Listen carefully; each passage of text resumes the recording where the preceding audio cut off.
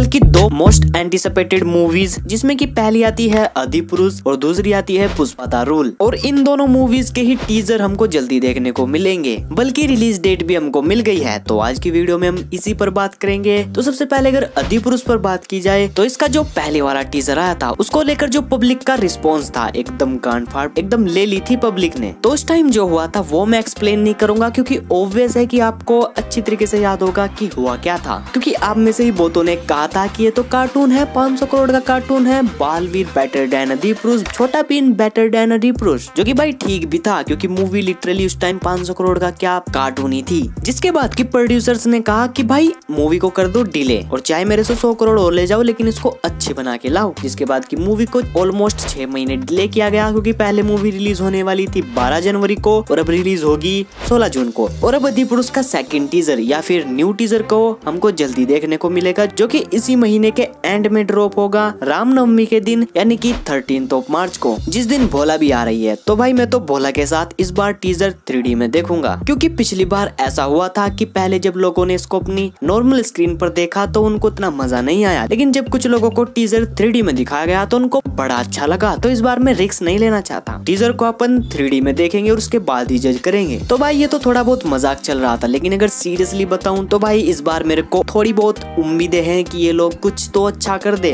भाई, बस पिक्चर देखने लायक बना दो। आगे पब्लिक देख लेगी यार। तो पिक्चर कैसी होने वाली है? ये तो तीस तारीख को पता चली जाएगा, जब इसका हम दूसरे वाला टीजर देख लेंगे कि ये कितना सही कर पाए हैं। और अब ज़्यादा टाइम बचा ही कहाँ है? तो भाई, मैं तो वेट कर रहा हूँ, क्योंकि मैं पिक्चर के लिए एक्साइटेड हूँ। तो जब टीजर आएगा, उस पर भी बात की जाएगी, और वो देखना है तो सब्सक्राइब मारो। इसके बाद अगर बात की जाए पुष्पा द रूल पर, जिसके लिए तो भाई लोग पल के झुकाए वेट कर रहे हैं। पल के झुकाए होता है या बिछाए होता है? पल के बिछाए वेट कर रहे हैं। पार्ट वन के बाद पार्ट टू के लिए जो लोगों के बीच इसकी हाइप है, अलग ही भाई। जिसकी की अब तक हमको ऑफिशियल रिलीज़ डेट तो नहीं मिली है, लेकिन हाँ पिक्चर इसी साल रिलीज़ होगी। लेकिन हमको पुष्पा टू के टीजर की रिलीज़ डेट मिल गई है। तो पुष्पा टू का पहला ऑफिशियल ट्रेलर रिलीज़ होगा अल्लू अर्जुन सर के बर्थडे पर, जो है आठ अप्रैल को। यानी कि अगले महीने में ही देखने को मिल जाएगा। और रूमर्स ऐसे आ रहे हैं कि ये टीजर तीन मिनट का होगा। भाई टीजर निकालोगे या डबल ट्रेलर बड़ा टीजर ला रहे हैं तो भाई कुछ बड़ा ही करेंगे। तो इस टीजर का भी पूरा इंतज़ार रहेगा एकदम दिल से। तो ये दोनों मूवीज़ ही इस साल की मचेवेंटेड मूवीज़ में से हैं, जो कि दोनों ही इतना पोटेंशियल रखती है कि ये रिकॉर्ड तोड़ेगी भी और बनाएगी भी। अधि पुरुष के में थोड़ा मामला फंस जाता है, क्योंकि उसकी तो पूरी इमेज ही बिगड़ी हुई है, लेकिन फिर भी अगर मूवी गलती से भी अच्छी निकल गई ना तो भाई